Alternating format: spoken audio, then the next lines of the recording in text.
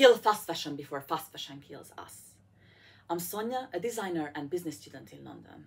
I aim to positively change how we design, manufacture, and consume fashion.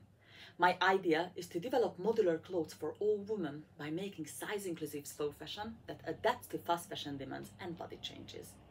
I offer separate double sided matching garment pieces that can be worn in endless variations.